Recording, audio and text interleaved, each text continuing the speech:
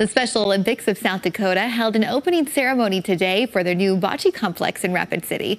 Along with being done on time, the project also came in under budget. KELOLAND's Tyler Louder stopped by to check out this new addition to the city. A new sports complex off of Omaha Street in Rapid City is now the home of bocce ball. This is really a, a, a tremendous uh, asset to the community, not only just for the uh, the athletes from the Special Olympics, but for the entire community. This is a, a complex that'll be open for the public to use.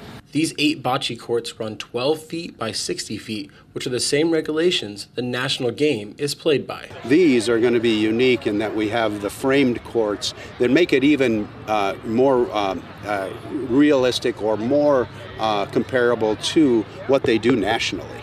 Now, with the completion of the Special Olympics bocce complex, they will be able to host their events here, including the state tournaments in 2024 and 2025.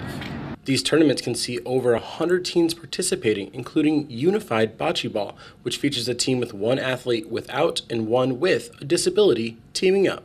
Once you start doing it, you say, This is fun. And then, and then, what I will tell you, as somebody that doesn't have a disability, um, go out and find find one of our athletes and team up with them and be a unified partner. And I tell you what, you'll you'll love it, and you you won't be able to get enough of it.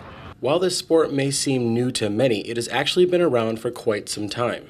Bocce's an old, old sport, but it's probably relatively new to the people of Rapid City, so we hope that everyone will come out and, and, and try their hand at it. No matter your age, skill level, or abilities, bocce ball is a game all can enjoy together. In Rapid City, Tyler Louder, KELOLAND News.